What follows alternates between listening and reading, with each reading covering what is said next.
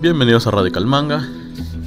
Hoy día vamos a pintar el dibujo que hicimos de Anja Forger, tal como lo prometí. Bueno, primero vamos a proceder a borrar todo el lápiz que, de nuestro boceto inicial. Ya hemos entintado, el dibujo está entintado, así que solamente hay que borrar. Tengan mucho cuidado al borrar. Para empezar, la tinta tiene que ser suficientemente fuerte como para no atenuarse con el borrador. Y segundo, borren bien porque si vas a usar Copics o algún tipo de marcador al alcohol, si no has borrado bien el lápiz y pasas luego el marcador, el marcador va a cubrir el lápiz y no lo vas a poder borrar después. Se va a quedar ahí sellado, o sea, no lo vas a poder modificar. Así que asegúrate de que esté bien borrado el lápiz, si has hecho algún sombreado, asegúrate de que todo esté borrado antes de proceder a pintar. Muy bien, los Copics tienen diferentes escalas de color, de saturación y de luz. Mm, en este caso eh, voy, a usar dos tonos por cada color, eh, por cada ah, parte, en este caso para la piel he usado dos tonos de piel. Eh, si quieren que dé una explicación mucho más detallada de cómo es la escala de, la escala de color de los Copics y cómo utilizarlos paso a paso, normal, me lo pueden colocar en los comentarios y yo con mucho gusto hago un video detallado de ello. Bien, en este caso la, regla que estoy siguiendo para poder hacer los sombreados es en la escala de luminosidad de los Copics uso dos tonos más bajos para hacer la sombra. Si se dan cuenta en la hoja hay unas eh, marcas de, lo que he pintado antes. Eso es una prueba.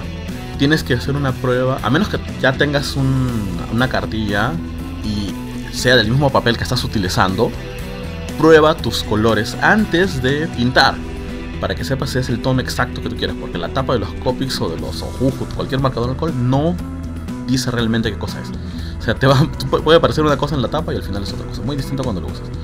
Así que pruébalos, asegúrate de que tenga, hayas seleccionado bien tus colores antes de ponerte a pintar, para no, no tengas que estarlos buscando. Muy bien, dos tonos, primer tono para el color general y luego con el tono más oscuro, como ven, hago, marca la sombra en el caso de los Copics, eh, se trabaja de, más claro a más oscuro. Siempre empieza con el tono más claro de todos. Y luego le vas añadiendo. Porque si por algún motivo lo ves que está muy claro, que te equivocaste quizá al elegir, entonces no hay, no hay ningún problema. eliges un tono más oscuro y lo pintas encima no pasa nada. Es, por eso siempre se va de más claro a más oscuro. En cambio, si empiezas con lo oscuro, bajarle no vas a poder se, procede de la misma manera cuando usas, cuando usas acuarelas. Me olvidé de decirles que este mes de noviembre, el 5 de noviembre, inician de nuevo las clases presenciales de la escuela de manga. Así que quienes quieran inscribirse, bueno, pueden simplemente mandarnos un mensaje o unirse a nuestro Facebook o al WhatsApp y también tenemos clases online para quienes viven lejos y no se encuentran en Perú, en la ciudad de Lima. Bueno, espero verlos ahí. Bien, acá estamos utilizando el tono... Bueno, en los grises, en Copic hay cuatro grises que están fuera de la escala. Son, tienen, los grises tienen su propia escala, ¿no? Que son el gris cálido, gris frío, gris neutral y gris toner. En este caso estoy utilizando el gris cálido. El, gris cálido. El 1, si no me Sí, el 1. Ah, no, no, no, no, es el 5, disculpen. Es el gris, cálido 5, que es W5, Worm. Muy bien. Tienes que tener mucho cuidado con las partes que van a quedar en blanco. Por ejemplo, en el caso de los botones, que se supone que son. Bueno, no sé si son botones o costura, creo que es costura. Las costuras que son amarillas, tienes que tener mucho cuidado al pintar. Cuando pintas áreas grandes, trata de hacerlo presionando el marcador para que no te, deje, no te quede veteado, que no queden líneas de tu pincelada o que queden muy pocas, ¿no? que parezcan parte de la costura de la ropa. Eh, y cuando haces partes muy pequeñas, donde, rincones, cosas que son muy detalladas, presiona muy ligeramente porque si no va a salir mucha tinta y puedes hacer un borrón, un manchón. Ahora, otra cosa que tienes que tomar en cuenta con los Copics es no colocarlos boca abajo mucho tiempo porque puede generar una gota de tinta, sobre todo si está muy cargado y puede manchar tu papel. Así que ten cuidado con eso también. Ten listo siempre un papel higiénico. Si notas que está muy cargada la punta, le quitas un poco y puedes dibujar de esa manera. Bien, los ojos también, dos tonos de, verde. para la pupila y para el sombreado de los costados. No le, no, si se dan cuenta, no he dejado el brillo de color blanco. Para hacer el brillo puedes hacer dos cosas. Puedes simplemente no pintarlo o posteriormente lo puedes añadir con un color blanco. En este caso yo voy a usar una pintura blanca después, así que por eso no, le he puesto los brillos a los ojos. Bien, lo colocamos acá. Este es gris eh, cálido 7 para el sombreado.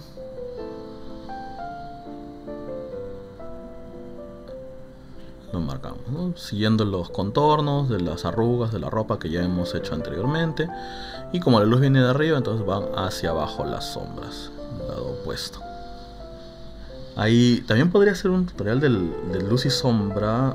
Mm, en este caso sería la sombra de la forma. Pero bueno, normal, si, quieren, yo, lo, yo puedo hacerlo más adelante. Bien, y se colocan las arrugas. Bueno, no tiene muchas arrugas ese vestido, así que... Ah, no es necesario colocar muchas. Ahora, en el caso de las medias, son blancas, pero no siempre es bueno usar blanco puro, así que en este caso estoy usando un gris muy bajo, gris eh, frío cero, o sea, casi casi blanco para las medias y para el sombreado de las medias estoy usando el gris frío 3. Dos o tres debe ser la diferenciación entre una escala y, la otra para hacer tu sombreado, para que quede suficientemente con, suficiente contraste. También le coloco un poquito de sombreado en la blusa, que también es blanca. La blusa sí no la pinto de, gris, porque está más arriba y hace bastante contraste con la ropa. No es necesario. Bueno, colocamos el... empezamos con nuestro amarillo más ah, claro. y cubrimos todo con el tono más claro. Las sombras se hacen con el siguiente tono.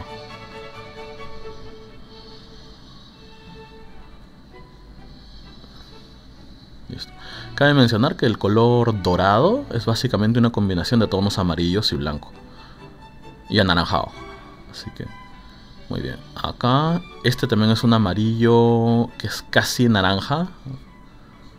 Pero no llega a ser naranja por completo.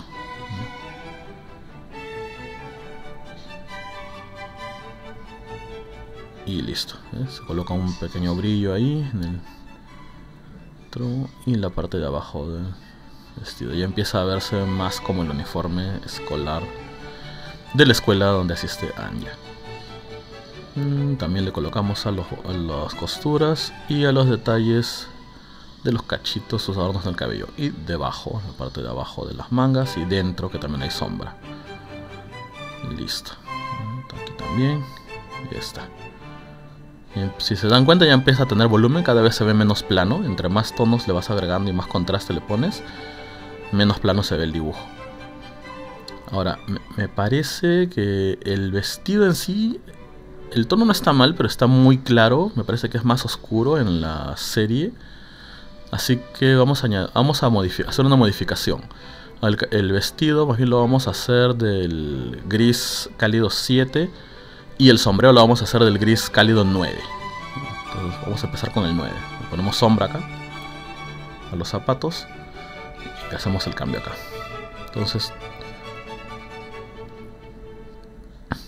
Todo lo cubrimos esta vez con el 7. Con el 7 lo hemos usado para hacer la sombra. No, ahora ya no. Vamos a usarlo para recubrir todo.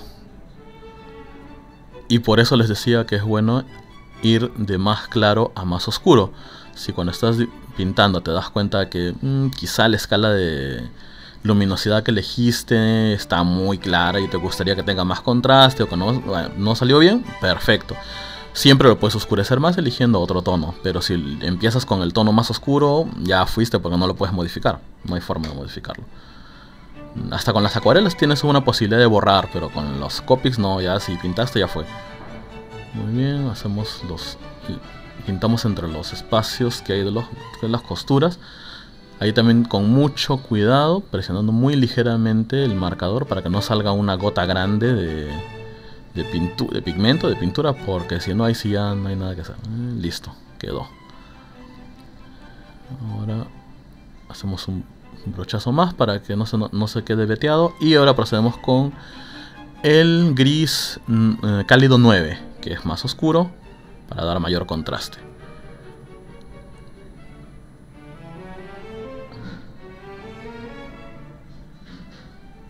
Listo.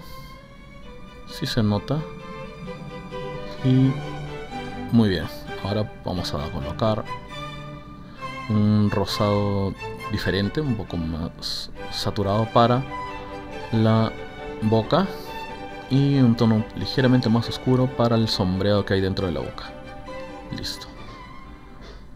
Ahora, el, listón rojo faltaba, ya cada vez se ve mejor. Ahora procedemos a revisar, parece que ya está todo bien. Ah, falta el sombreado dorado. Usamos otro tono amarillo, pero en este caso es un amarillo mucho más oscuro. Colocar la sombra. En este caso estamos usando tres tonos. El, más claro, el intermedio y el oscuro. La parte donde llega menos la luz. Muy bien, sombreamos la parte interior también de las mangas y la parte inferior. Listo, ahora sí se ve mejor. Perfecto. Ahora procedemos a añadir el brillo. ¿Cómo puedes añadir el brillo? Esta técnica es simple, solamente coges un poquito de pintura blanca. En mi caso estoy usando la PH Martin, pero también puedes hacerlo con un corrector. Simplemente un lápiz corrector que le dicen liquid paper. Coges una gotita de pintura y la colocas en la en donde van los brillos.